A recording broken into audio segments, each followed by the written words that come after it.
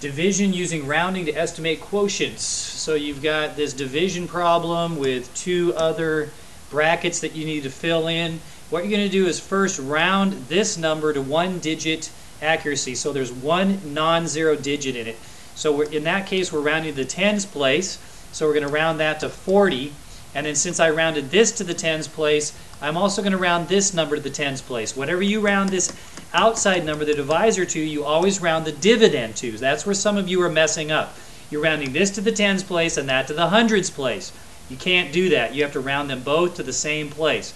So this 2,357 rounds to 2,360, okay, because we're rounding to the tens place there. And then we're going to drop a zero in each one. So we just cross out that zero and that zero. And we're going to make this 4 into 236.0. I'm putting a point zero on there so that I get a decimal answer so I can then round my answer, which I normally don't do when I estimate, but for these I'm going to do that, okay? So 4 goes into 23. How many times?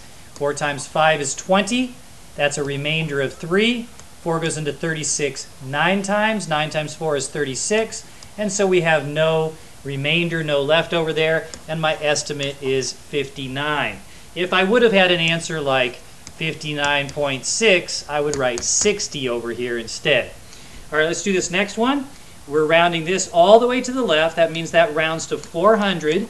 And since I'm rounding to the hundreds place here, I round to the hundreds place here. So that would be 1600. And then I can drop two zeros off of each one here.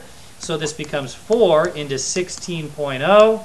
And 4 goes into 16 four times. So my estimate is 4.